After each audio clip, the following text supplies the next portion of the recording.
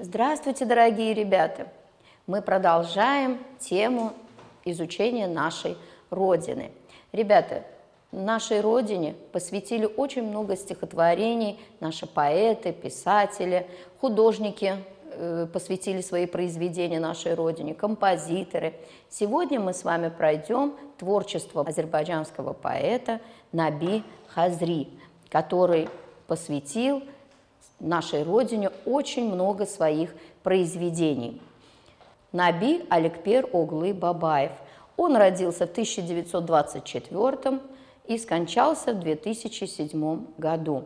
Ребята, Хазри – это его псевдоним. Почему он себе выбрал такой псевдоним? В первую очередь нужно сказать, что он очень любил город Баку. Он жил и творил в городе Баку, он знал каждый камешек, каждого жителя города Баку и с трепетом относился к истории родного города, но и родного края. Давайте посмотрим причину, почему он выбрал себе такой псевдоним. Хазри – это бакинский норд – Нордом называют северный ветер. Это сильный, холодный и сухой ветер Баку. Он иногда дует целыми неделями, то есть он очень сильный, бурный, он приводит в движение огромные волны. И вот Наби Хазри отождествлял себя и свое творчество именно вот с этим ветром. Он очень любил море, часто гулял на берегу моря и посвятил очень много произведений нашему морю. Стихотворение, которое мы сегодня с вами будем изучать, это отрывок из его поэмы «Город моей судьбы». Город света, огней лагуна, фонарей золотые шары. Рядом с улицей Вургуна светит улица Джабарлы. Лишь на город и тих, и робок вечер глянет, ища приют, Побегут их огни бок о бок, словно песню одну запоют. И выходят они из света, два поэта земли родной. След Джафара и след Самеда не смывает Хазар волной. Через долы пройдут и горы, у Хазара придут постоять, а к утру возвратятся в город, станут улицами опять. Посмотрите, ребята, какое чувство вызвало у вас это стихотворение. Конечно, мы понимаем, насколько поэт любил родной город, как он знал каждую улочку, и как он уважал и любил достойных сыновей народа, поэтов Самеда Вургуна и Джафара Джабарлы. Давайте посмотрим непонятные слова. Лагуна – это морской залив, отделенный от моря песчаной косой. И, ребята, наш город Баку находится на берегу этой морской лагуны. В стихотворении мы с вами услышали имя великого азербайджанского поэта Самеда Вургуна. Наш народ ценит и уже много лет хранит в своей душе память об этом прекрасном человеке, великом поэте. Именем Самеда Вургуна названа улица, ему установлены памятники, в его честь назван Русский драматический театр, многие библиотеки носят имя Самеда Вургуна, и это показывает, насколько наш народ ценит э, представителей искусства. Еще мы с вами в этом стихотворении услышали имя Джафара Джабарлы. Это один из самых великих сценаристов, драматургов. Он автор многих сценариев к знаменитым нашим кинофильмам, и поэтому азербайджанская киностудия носит имя Джафара Джабарлы. Памятник Джафару Джабарлы установлен на площади 28 мая. Вы, наверное, видели этот памятник, часто проходите мимо него. Его именем названа улица. И все эти улицы памятник. Все они напоминают нашему народу, какой огромный вклад эти люди сделали в культуру нашей страны. Давайте вернемся к стихотворению и обратим внимание, сколько предложений в этом стихотворении. Вы знаете, что многоточие – это тоже является концом предложения. Здесь у нас два многоточия, точки – Обратите внимание, давайте посчитаем, сколько у нас в этом стихотворении предложений. Один, два, три, четыре, пять, шесть, семь, восемь, девять и десять. В этом отрывке, ребята, 10 предложений. Мы с вами должны уметь учиться выделять предложения из стихотворного текста. Давайте обратим внимание на вот такие вот слова «тих» и «робок». Эти слова обозначают признаки, но эти признаки даны в сокращенной форме, краткой форме. И такие слова называются краткими прилагательными. Вот когда мы с вами будем проверять некоторые слова с парными согласными, часто это происходит в прилагательных. Мы тогда эти прилагательные ставим в краткую форму. Например, робок – это проверочное слово к проверяемому слову робкий. Чтобы проверить согласную «б», можно это слово поставить вот в эту краткую форму. Обратите внимание, что Джафар, Самет, Вургун, Джабарлы написаны с большой буквы. Давайте повторим и вспомним, какие слова пишутся с большой буквы, как мы их называем. Верно, ребята, это имена собственные, верно. А теперь перейдем к грамматической части нашего урока и выполним упражнение 75 на странице 64. Нам нужно списать слова, вставляя пропущенные буквы и устно подбирая проверочные слова. Первое слово – слово «кружка». Парное согласное находится в середине слова, значит, подбираем проверочное слово. Очень удобно подбирать проверочные слова, добавляя суффиксы – очк, ечк, оньк или еньк. Вот давайте попробуем, применим это в этих словах. Кружка. Чтобы ее проверить, давайте к этому слову добавим суффикс «ечк». И у нас получится новое проверочное слово. Кружка, кружечка. И как только мы добавили суффикс «ечк», мы четко услышали согласную «ж». Книжка. Вновь добавим суффикс «ечк», и у нас получилось слово «книжечка». И уже в этом слове мы четко слышим согласную «ж». Сказка. Опять добавляем суффикс, и у нас получается слово «сказочка». И уже в этом слове мы услышали согласную «з». Все то же самое проделываем со словом «игрушка». Игрушка, игрушечка. В этом слове мы слышим согласную «ша». Трубка, трубочка – слышим согласную «б», обложка, обложечка, согласную «ж», крышка, крышечка, верно. В этом слове мы слышим согласную «ш». Тропка, тропа. Вот здесь можно или тропочка сказать, или можно просто в начальной форме тропа.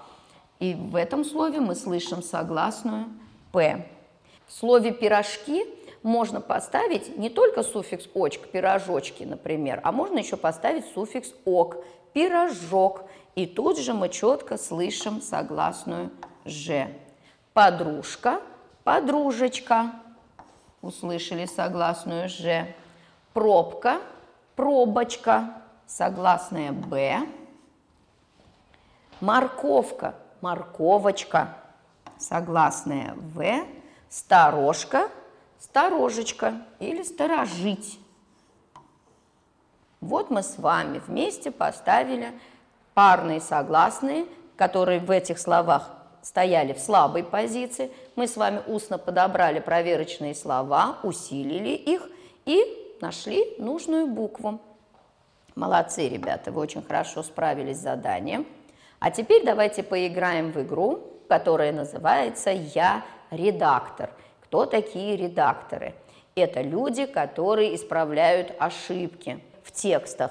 Давайте попробуем поиграть в редакторов. Посмотрите. Нашли ошибки в этом тексте? Верно, ребята, в этом тексте очень много ошибок. Давайте приступим к работе. Мамед Гасанов надел пальто, шапку, взял варежки, шарф и выбежал в сад. Мы здесь замечаем первую ошибку. Мы знаем, что Гасанов – это имя собственное, а собственные имена пишутся как? Молодцы, ребята, они пишутся с большой буквы. В этом слове надо было э, Гасанов писать с большой буквы. Надел пальто. Пальто – это какое имя? Собственное или нарицательное? Верно, это нарицательное. Значит, здесь допустили ошибку. Надо было писать это слово с маленькой буквы. В следующем слове шапку. Мы говорим шапку. Написано в этом слове написана буква «Б». Давайте проверим, это верно или нет. Подберем проверочное слово. Шапку, шапочка. Мы видим, что в этом слове должна стоять согласная «П». Взял варежки. Давайте проверим слово «варежки». Варежек, проверочное слово, если подставить суффикс «ек» и перед суффиксом «ек» мы слышим согласную «ж». Шарф, шарфы, мы видим, что это слово написано верно. И выбежал в сад. Давайте посмотрим. Слово «в сад» верно написано? Конечно, нет. Мы знаем, что «в» – это предлог, а предлоги с существительными, предлоги со словами пишутся раздельно. В саду большой пруд. Очень смешное слово получилось, верно?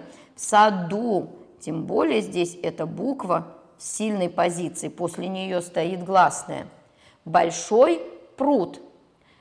Если мы оставим букву Т, то это получается какая-то железная палка. Пруд – это палка. Но в саду большой пруд здесь имеется в виду водоем. Значит, пруды, проверочное слово пруды, и в этом слове нужно поставить «д». Это слово показывает нам, что иногда какую согласную нужно писать, нужно обратиться к лексическому значению этого слова – там всегда репетишки. Значит, всегда. Это слово надо запомнить. Это словарное слово, пишется с буквой «г». Ребятишки тоже словарное слово, оно непроверяемое. Поставили точку, предложение закончено. Начинается следующее предложение, и тут же мы замечаем еще одну ошибку. Мы знаем, что после точки обязательно любое слово – будь оно собственное или нарицательное, нужно писать с большой буквы.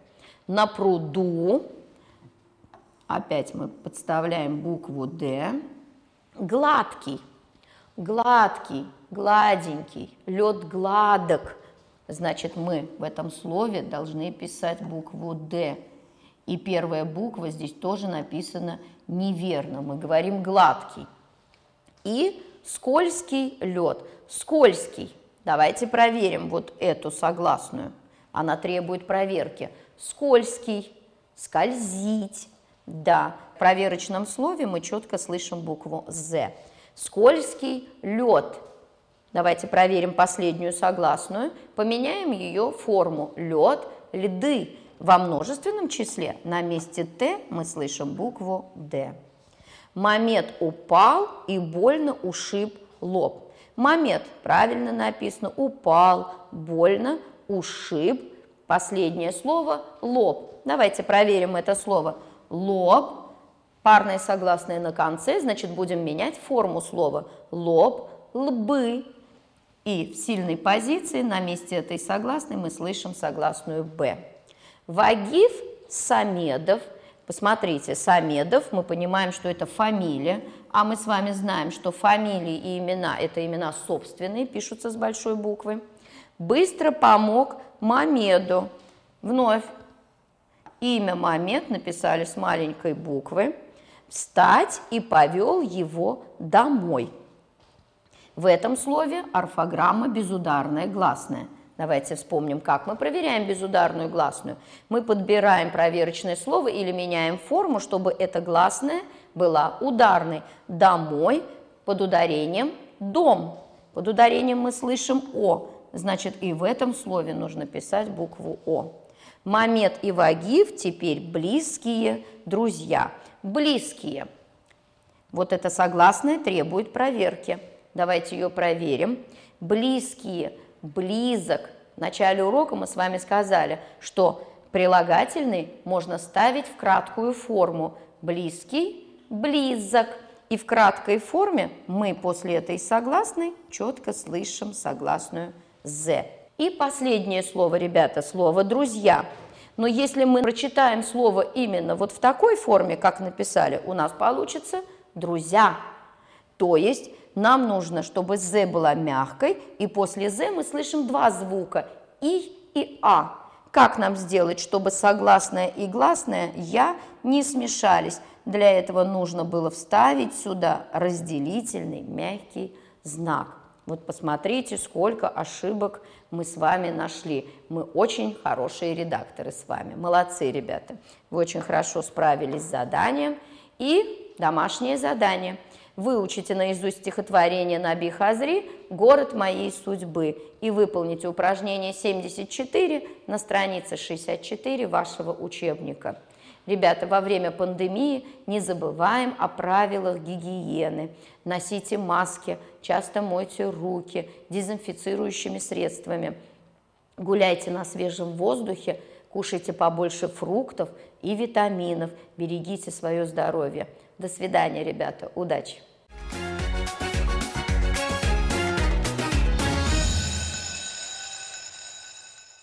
Здравствуйте, ребятки! У нас вновь урок математики. Сегодня на уроке мы с вами пройдем тему «Вычитание в пределах тысячи». Разберем случай отделения десятка. Посмотрите, пожалуйста, на экран. Откройте, пожалуйста, учебник на странице 41, задание первое. Сравните разряды единиц уменьшаемого и вычитаемого – Решите сначала примеры, в котором отделяется десяток, а затем остальные. Мы с вами знаем, что уменьшаемое и вычитаемое – это два числа, которые надо вычесть. Также у нас по условию отделяется десяток. Как это понять, мы сейчас с вами разберем. Сначала примеры, в котором отделяется десяток, а затем остальные – для этого давайте обратим внимание на наши примеры. 564 надо вычесть 128.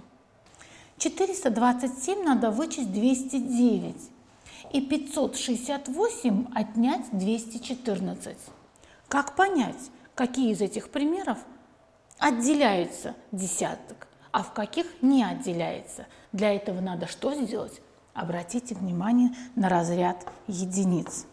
4 и 8. Как вы думаете? Для начала давайте их запишем столбиком. 564 минус 128. 4 и 8. Как легко решить этот пример? Может быть, 8 отнять 4? Все правильно, это не так. Нам надо обязательно взять в разряде десятков одну единицу. У нас получается разряд десятков одна единица – это 10. И еще 4 – это у нас 14. От 14 отнимем 8, у нас получится, все верно, 6. Так как мы от 6 взяли одну единицу, у нас осталось правильно 5. От 5 отнимем 2, 3. 5 отнимем 1, 4. Вот этот пример называется, ребятки, отделение десятка. То есть мы взяли одну единицу в ближайшем разряде. В данном случае это разряд десятков. Запишем ответ 436. Как вы думаете, ребятки, из двух следующих примеров, какой пример мы должны решить следующим? Для этого давайте обратим внимание на разряд единиц. 7 и 9 так как 7 меньше, чем 9, значит это тот самый пример, то, что нам нужно. И обратите внимание следующее. 8 и 4. 8 больше, чем 4, значит его мы решим в самом конце. Запишем эти примеры. 427 минус 209. От 7 не получается у нас отнять 9. Значит, мы что сделаем? Правильно, пойдем в гости к десяткам и возьмем одну единицу. Получается 17, запишем, чтобы мы его не забыли. 17 отнять 9, 8. А от 2 у нас осталось 1. 1 минус 0, 1. 4 минус 2, 2. 218. Запишем это. И следующий пример – 568 вычесть 214. 8 минус 4 – 4. 6 минус 1 – 5. 5 минус 2 – 3. В этом примере мы к десяткам в гости не ходили, поэтому это обычный пример. Следующее задание. На этой же странице задание третье. Посмотрим, что нам надо сделать. Решить примеры. Округлите разности до десятков. Что значит разность? Разность, ребятки, это результат вычитания. Мы, значит, должны его решить, а потом то, что получим, округлить. Запишем столбиком 364 вычесть 147. Как мы видим, от 4 7 отнять не получится. Мы что должны с вами сделать? Все верно. Возьмем у разрядов десятков одну единицу. 14 минус 7 – 7. У нас здесь остается 5. 5 минус 4 – 1. И 3 минус 1 – 2. 217. 217. Но это еще не все. Нам надо округлить то, что у нас получилось. 217 мы округлим до десятков. Отметим десяток. А мы с вами уже знаем, как округлить это число. Мы должны обратить внимание на разряд единиц. На 7. А 7 мы с вами знаем, что дает правильно новый десяток, то есть разряд десятков увеличивается на одну единицу. У нас получается 220, то есть 217 приближенно 220. Решим следующий пример. 572 вычесть 234. От двух все верно, отнять не получается 4. Поэтому мы пойдем в гости к десяткам. 12 отнять 4, 8. От 6 отнять 3. Почему от 6? Все правильно, потому что мы один десяток уже отсюда взяли. От 6 отнять 3, 3. И 5 минус 2, 3. 338. Давайте это, то, что у нас получилось, мы округлим до десятков. Обращаем внимание на 8. 8. Что надо делать с восьмеркой? Все верно, оно дает нам новый десяток. А ну-ка скажите, как мы это число запишем? Все верно, 340. И следующий, последний пример, ребятки. Запишите его быстренько сами, и вместе мы его с вами проверим. Я вижу, вы готовы. 781 отнять 500 53. Все верно, вы решили все правильно. Вы не от одного отняли 3, а от 11 отняли 3. У вас получилось 8. 7 минус 5 – 2. И 7 минус 5 – 2. 228. А теперь это число мы с вами округлим. Как вы его округлили? Вы определили десяток – и обратили внимание на разряд единиц. Все верно у вас получилось. Это число 230. Молодцы. Перейдем к следующему заданию. Следующее задание такое. На этой же странице задание четвертое. Вычислите, определив порядок действия. Обратите внимание на наши примеры. У нас в примерах два действия, то есть действие вычитание и сложение, минус и плюс. Как вы думаете, какое действие здесь будет первым? Надо на что обратить внимание? Все верно, на скобки. Если это действие в скобках, мы его будем решать первым. В нашем случае, в наших скобках знак плюс. Это будет первое действие. А за скобками знак минус. Это второе действие. Обратим внимание на следующий пример. Как вы думаете, кто мне скажет, первое действие здесь какое будет? Плюс или минус? Все верно, минус. Почему, ребятки, минус? Кто мне скажет? Опять вы молодцы, потому что знак минус у нас в скобках. Первым мы решим знак вычитания, а втором то, что за скобкой, знак сложения. Хорошо, а теперь давайте перейдем к нашим примерам и решим их. Первое действие – Первое действие у нас то, что в скобках. Надо сложить два числа, трехзначных числа. 135 прибавить 127. Запишем это. Прибавить 127. 5 прибавить 7, 12. 2 пишем и 1 запоминаем. 3 прибавить 2, 5 и 1, 6. 1 прибавить 1, 2. Это результат нашего первого действия. А у нас есть еще второе действие, 345. Надо вычесть то, что у нас получилось от первого действия, то есть 262. Запишем это. 345 вычесть 262. От 5 отнимаем 2, 3. От 4 отнимем 6. Все верно, у нас не получается. Мы идем в разряд сотен в гости. Берем оттуда одну единицу, и у нас получается 14 десятков отнять 6 десятков. И это будет 8. Здесь получается 2 минус 2 – это 0. Впереди мы с вами 0 не записываем. У нас получается ответ 83. А теперь перейдем к следующему примеру. Скажите мне, пожалуйста, какое будет первое действие? Все верно, нам надо 167 вычесть 32. Запишем это. 167 вычесть 32. От 7 отнять 2 можно, получается. Это все верно. 5. От 6 отнять 3. Тоже у нас все получается. 3. И 1 мы с вами спускаем. 135. Второе действие, ребятки, нам надо 235 прибавить то, что получилось у нас в первом действии. 135.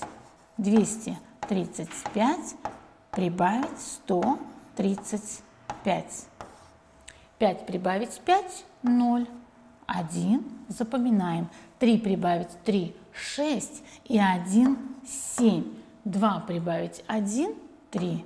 У нас получилось 370. У вас, ребятки, тоже так получилось? Молодцы. У нас получилось все правильно. 370. Хорошо. Давайте перейдем к следующему заданию. А следующее задание у нас задача. Расстояние от Кельбаджара до Ахдама приблизительно 107 километров. Обратите внимание на нашу карту. Вот наш город Кельбаджар, а это у нас Ахдам. Вот это расстояние между ними 107 километров. А от Ахдама до Ходжавенда, Ахдам и Ходжавенд у нас 35 километров. Приблизительно, ребятки, это не точно. Найдите расстояние от Кельбаджара до Ахдама. Вот это расстояние нам нужно узнать. Для этого что нам надо сделать? Все верно. Нам нужно сложить расстояние от Кельбаджара до Ахдама и от Ахдама до Ходжавенда. 107 прибавить 35. 7 прибавить 5 – 12. 2 пишем, 1 в уме. 0 прибавить 3 – это 3. Еще 1 в уме – 4. И 1 спускаем. 142. Это 142 километра у нас расстояние от Кельбаджара до Ходжавенда. Молодцы, ребятки. А теперь, ребятки, задание для вас. Откройте, пожалуйста, страницу 41, когда у нас урок закончится. Закончите, пожалуйста, первое и четвертое задание и выполните второе и третье. Я вам желаю удачи. Наш урок закончился. Обязательно, ребятки, мойте руки, одевайте маски, берегите себя и своих близких. А я вас жду на следующем уроке. До свидания.